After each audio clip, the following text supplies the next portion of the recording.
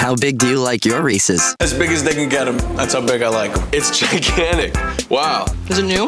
Looks new. Look at all the peanut butter inside. It makes me want to go like this.